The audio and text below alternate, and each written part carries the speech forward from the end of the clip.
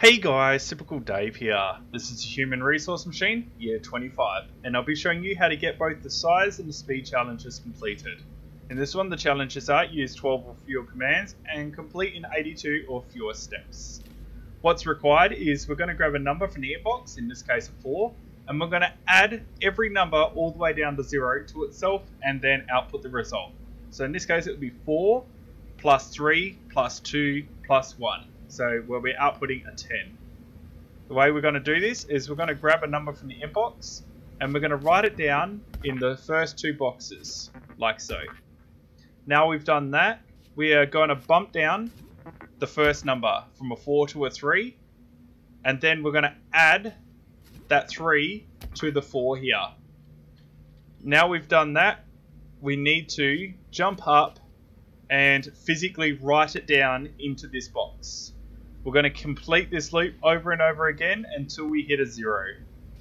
If when we bump it down and it's a zero, so I'll bump this up to the top here, we are going to grab our result that we're up to in this box and we are going to output it.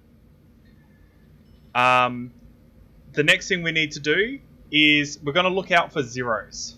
So if we grab a number from the inbox and it's a zero, we're going to outbox it immediately. And the last step we need to do is we need to put a jump in to the inbox at the start because you can't start from a copy from command. If I hit play, you should see this start working. So we're going to paste the 4 down twice. We're going to bump the 3 down and add them together to get a 7. Bump it down, add the 2, and then bump it down to get a 1. So now we've got a 10. We're going to hit a 0, so we can't add anymore. So we're going to outbox the 10, and we're going to start again. So if I speed this up, you can see we're going to go all the way down to 0 again. And I'm going to outbox the 21. A 0, you can't do anything with, so you just chuck straight on the belt. And then, well, we're going to do the same with the 9s. So if I just speed it through, like so, and 45, you can see we've chucked it on, and we're good to go. Here comes the clipboard.